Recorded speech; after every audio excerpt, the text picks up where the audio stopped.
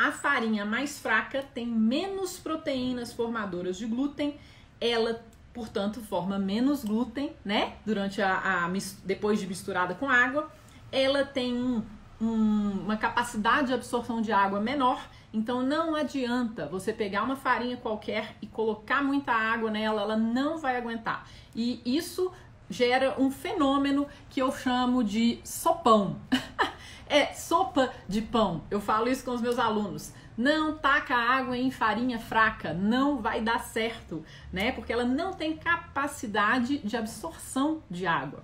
E ela também, uma das vantagens da farinha mais fraca é que quando você sova essa farinha mais fraca, ela chega no ponto de desenvolvimento do glúten mais rapidamente do que uma farinha que tem um teor de glúten maior, que exige uma sova maior e exige técnica, né, mais técnica. Então, o tempo de sova de uma farinha mais fraca é menor, né?